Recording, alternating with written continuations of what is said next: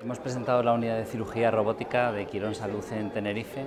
El objetivo de nuestra unidad es un objetivo que tiene un fin asistencial, que es mejorar la calidad de, de nuestros procedimientos quirúrgicos, poder proporcionarle al paciente lo que sea mejor para él va a ser lo que nos va a dar más satisfacción a nosotros, que lo mejor para el paciente es lo mejor para el cirujano. La cirugía robótica Da Vinci se ha universalizado en los últimos 5 o 6 años, de manera que han pasado del entorno de los 20, 22 eh, sistemas robóticos a los más de 100 que en la actualidad hay implantados en España y Portugal. Si yo tuviera que definir la cirugía robótica, eh, la definiría como la cirugía de máxima precisión. En el, en el ámbito de lo que es la cirugía mínimamente invasiva, la evolución la tendencia natural es a alcanzar la máxima precisión. Cuando uno hace cirugía robótica y ve la calidad de lo que consigue, no quiere volver atrás.